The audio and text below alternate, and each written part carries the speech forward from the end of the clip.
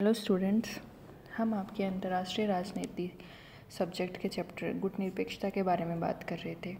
इससे पहले हमने गुट निरपेक्षता का ऐतिहासिक विकास देखा कि कैसे इसके पहले सम्मेलन में सिर्फ़ 25 कंट्रीज़ थे, उसके बाद धीरे धीरे इसका नंबर बढ़ता गया और आज 120 कंट्रीज़ हैं। इसका फ़र्स्ट जो सम्मेलन था, शिखर सम्मेलन, जो कि 1961 में बेलग्रेड में हुआ था। 1956 में नेहरू, नासिर और टीटो ने गुटनिरपेक्षता को अंतर्राष्ट्रीय आधार प्रदान किया था। सैद्धांतिक रूप से 1961 में बेलग्रेड में शिखर सम्मेलन का आयोजन हुआ। उसके बाद से इसके अठारह उन्नीस सम्मेलन हो चुके हैं। तो ये इसका ऐतिहासिक विकास था। उसके बाद हमने देखा कि शीत युद्ध की समाप्ति हो गई। उसके बाद कई विकसित राष्ट्र थे। कहने लगे कि अब इसकी औचित्य नहीं है, ये एक बेईमानी है। लोगों मतलब जो डेवलपिंग कंट्रीज़ हैं इन्होंने विभिन्न महाशक्तियों से अपने राष्ट्रीय हित को साधने के लिए इसको अभी भी बरकरार रख रखा है।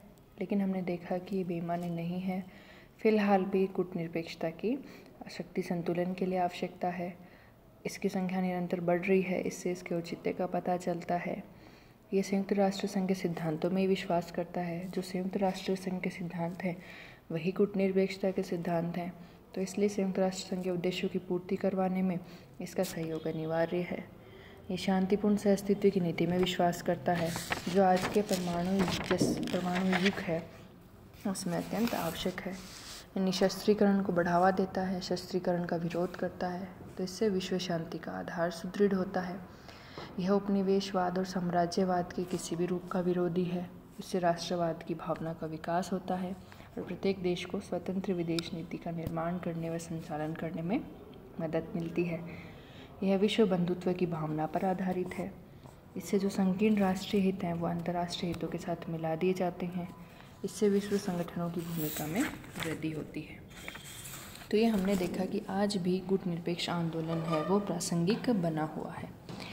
आज के लेक्चर में हम कवर करेंगे कि इसकी प्रमुख उपलब्धियाँ क्या क्या रही हैं? विभिन्न गुट निरपेक्ष सम्मेलनों में अलग अलग विषयों पर व्यापक चर्चा की गई और उनकी दिशा में सकारात्मक प्रयास भी किए गए। निर्गुट शिखर सम्मेलनों के कुछ सकारात्मक परिणाम निकले, जो कि हैं। पहला, अंतर्राष्ट्रीय सहयोग में वृद्धि। गुट निरपेक्ष आंदोलन में अंतर्राष्ट्रीय सहयोग को बढ़ावा देने की दिशा में महत्वपूर्ण प्रयास किए गए। गुटनिरपेक्ष देशों ने आपसी झगड़ों को पारस्परिक सहमति से सुलझाने के प्रयास किए और महाशक्तियों को भी इसी आधार पर कार्य करने के लिए प्रेरित किया। इससे अंतर्राष्ट्रीय सहयोग की भावना को बल मिला। तो हमने देखा कि विभिन्न जो शिखर सम्मेलन हुए, उसमें गुटनिरपेक्ष आंदोलन में अंतर्राष्ट्रीय सहयोग को बढ़ावा देने की दिशा में प्रयास किए गए। इन्होंने कहा कि हम आपसी झगड़ों को पारस्परिक समझा, समझौते से या सहमति से सुलझाने का प्रयास करेंगे। और महाशक्तियों को भी कहा कि आप भी इसके आधार पर कार्य कीजिए। उनको प्रेरित किया। तो इससे अंतर्राष्ट्रीय सहयोग को बढ़ावा मिला। दूसरा, शीत युद्ध को गर्म युद्ध में बदलने से रोकना। हमने देखा था कि गुट निरपेक्ष आंदोलन की स्थापना दोनों गुटों से या फिर इनकी जो सैनिक गुट थे, सैनिक संधियों थे, संधियाँ इन्होंने बनाई थी महाशक्तियों ने, उनसे पृथक रहकर अपनी स्वतंत्र विदेश नीति का पालन करना और विश्व समस्याओं को निष्पक्ष भाव से देखकर जो सही है उसका पक्ष लेना और गलत के खिलाफ आवाज़ उठाना। यही गुटनिरपेक्ष आंदोलन का मकसद था, यही इसीलिए गुटनिरपेक्ष आंदोलन बनाया गया था। तो इसने क्या किया कि शीत युद्ध को गर्म युद्ध में बदलने से रोका। गुट निरपेक्ष देशों ने निरंतर शीत युद्ध के तनाव को कम करने के प्रयास किए। इससे विश्व में तीसरे विश्व युद्ध के होने की संभावना क्षीण हुई। गुट निरपेक्ष देशों ने गुटों की राजनीति से दूर रहकर किसी गुट को अधिक शक्तिशाली नहीं होने देने का भरसक प्रयास किया। इन देशों ने दोनों महाशक्तियों के मनों में व्याप्त अविश्वास की भावना को दूर करने के पूरे प्रयास किए। इससे अंतर्राष्ट्रीय शांति की संभावनाएँ प्रबल हो गई और शीत युद्ध, गर्म युद्ध में तब्दील होने से बच गया। यानी इन्होंने एक बैलेंस पावर बैलेंसिंग का काम किया। दोनों गुटों के बीच रहकर जो सही था उसका पक्ष लिया और गलत के खिलाफ आवाज़ उठाई। दोनों महाशक्तियों के मनमुटाव को ख़त्म करने का प्रयास भी किया गया। तो इससे इन्होंने क्या किया? शीत युद्ध को गर्म युद्ध में तब्दील होने से रोका। इसकी अगली उपलब्धि है। अंतर्राष्ट्रीय संघर्षों को टालना। गुट निरपेक्ष देशों ने अंतर्राष्ट्रीय विवादों को शांतिपूर्ण ढंग से हल करने के लिए सहयोग दिया। इन देशों ने या तो युद्ध को टाल दिया या उसका समाधान कराने में मदद की। इन्होंने इंडोचीन संघर्ष, स्वेज नहर संकट, कोरिया संकट आदि के दौरान न्यायोचित भूमिका निभाई।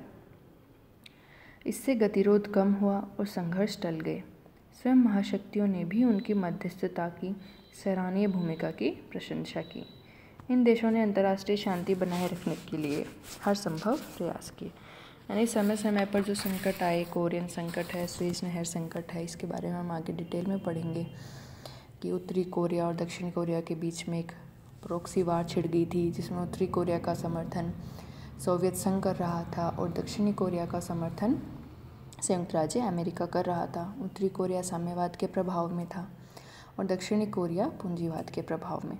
तो एक तरह से वो लड़ाई तो उत्तरी कोरिया और दक्षिण कोरिया के बीच थी, लेकिन वो प्रॉक्सी वार थी बिटवीन सोवियत संघ एंड संयुक्त राज्य अमेरिका। तो इस बीच में भी इन्होंने मध्यस्थता करने की कोशिश की। स्वेज नहर संकट था, जो ब्रिटेन ने स्वेज नहर का निर्माण किया था। उसके बाद मिश्र ने इसको अपना रेशनलाइजेशन करने की कोशिश की।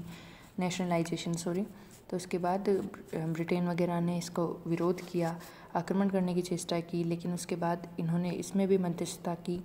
तो उसके बाद हम ये नेक्स्ट चैप्टर्स में देखेंगे कि डिटेल में कि क्या क्या संकट थे और इनके बीच में इनकी सॉल्यूशन कैसे निकले या फिर नहीं निकले। तो ये इसकी तीसरी उपलब्धि थी। चौथी, निशस्त्रीकरण को बढ़ावा।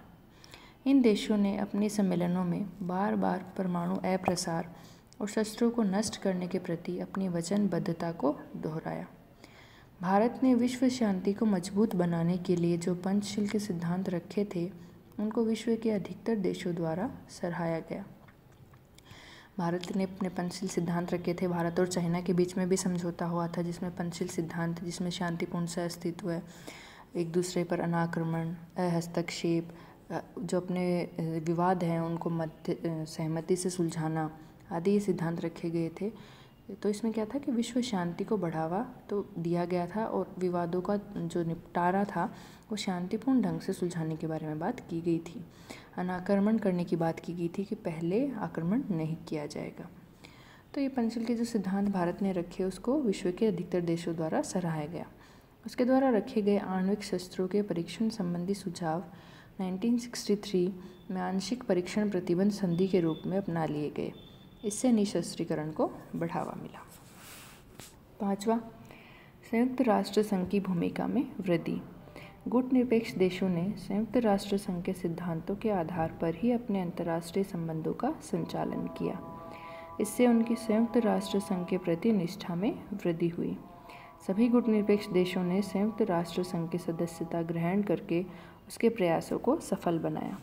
गुटनिरपेक्ष देशों ने संयुक्त राष्ट्र संघ के मंच पर एकता का परिचय देकर विश्व शांति के उद्देश्यों को प्राप्त करने में संयुक्त राष्ट्र संघ की मदद की। यानी जो संयुक्त राष्ट्र संघ के सिद्धांत हैं, वही सिद्धांत गुटनिरपेक्ष आंदोलन के हैं। तो इसलिए इन दोनों को सहयोग मिला आपस में। गुटनिरपेक्षता आंदोलन ने जो संयुक्त राष्ट्र संघ थे, उनके उद्देश्यों को पूर्ति करने में सहयोग दिया। छठा नई अंतर्राष्ट्रीय अर्थव्यवस्था की मांग। गुट निरपेक्ष देशों ने विकसित देशों का ध्यान इस ओर आकृष्ट किया कि वर्तमान विश्व व्यवस्था गरीब देशों के हित की पोषक नहीं है। आज वैश्वीकरण की प्रक्रिया का लाभ प्राप्त करने के लिए इसका नए सिरे से गठन करने की आवश्यकता है।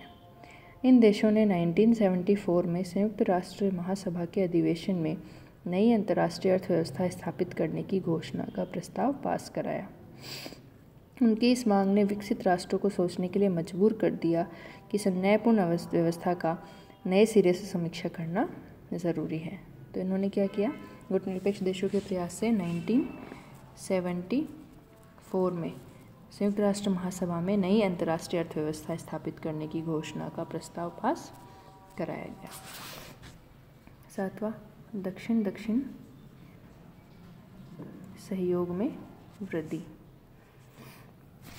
1976 में कोलंबो शिखर सम्मेलन में, कोलंबो शिखर सम्मेलन में गुटनिरपेक्ष देशों ने पारस्परिक आर्थिक सहयोग को बढ़ावा देने का आह्वान किया। इसी के चलते दक्षिण दक्षिण सहयोग की शुरुआत हुई, जो आज विकासशील देशों के पारस्परिक आर्थिक सहयोग में वृद्धि के लिए आवश्यकता बन गया है। दक्षिण दक्षिण सहयोग का मतलब सहयोग between cooperation between developing countries जो डेवलप्ड कंट्रीज़ हैं, वो जनरली उत्तर में मानी जाती हैं। जो डेवलपिंग कंट्रीज़ हैं न्यूली फॉर्म्ड कंट्रीज़ थी, जो उपनिवेशवाद थे, वो स्वतंत्र हुए थे तो वो डेवलपिंग कंट्रीज़ तो आपस में डेवलपिंग कंट्रीज़ का सहयोग, परस्पर आर्थिक सहयोग में वृद्धि की आवश्यकता बन गया है। अब गरीब राष्ट्रों के पास आर्थिक विकास के लिए दक्षिण दक्षिण सहयोग की बात प्रमुख मुद्दा बन गई है। यह गुटनिरपेक्ष आंदोलन की प्रमुख उपलब्धि कही जा सकती है। इस प्रकार कहा जा सकता है कि गुटनिरपेक्ष देशों ने शीत युद्ध के तनावों को कम करके तीसरे विश्व युद्ध की संभावनाओं को छिन किया है। इसने अंतर्राष्ट्रीय संघर्षों को टालने में पूरी मदद की है। इसने निशस्त्रीकरण के प्रयास करके विश्व शांति को मज़बूत बनाया है। इसने नई अंतर्राष्ट्रीय अर्थव्यवस्था की मांग करके विकसित देशों को इस बारे में सोचने के लिए विवेश कर दिया है। लेकिन फिर भी आलोचक इसे अप्रासंगिक मानकर इसे महत्वहीन आंदोलन की संज्ञा देते हैं। तो उनकी आलोचना क्या है? ये तो हमने देखी इसकी प्रमुख उपलब्धियाँ, जो सात प्रमुख उपलब्धियाँ थी। जैसे कि दक्षिण दक्षिण सहयोग में वृद्धि, यानी आपस में डेवलपिंग कंट्रीज़ के सहयोग में वृद्धि है। संयुक्त राष्ट्र संघ के सिद्धांतों के अकॉर्डिंग ये चलते हैं। नई अंतर्राष्ट्रीय अर्थव्यवस्था की मांग की है, निशस्त्रीकरण की मांग की है इन्होंने।